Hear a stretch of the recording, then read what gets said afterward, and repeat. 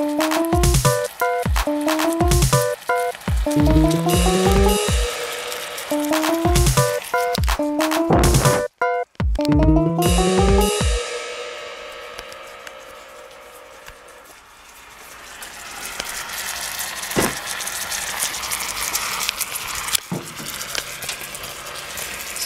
when you're cooking sausage, you're gonna want to just let it bubble up in its own grease for as long as possible. And if you don't do that, you're kind of just being a baby. Because you want to eat as much sausage grease as possible.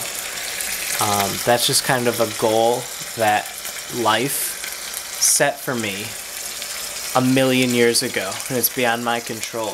So what I do is I just throw the sausage in a searing hot pan and let all its fat juices bubble out, and then I just let it simmer in fat juices because that pleases me in the very tiniest center of my brain where a little caveman is sitting on a toilet seat and he is watching screens which show video streams of my real life and he's just sitting there all day. He can never leave that seat. That's why it's a toilet because he can never leave it.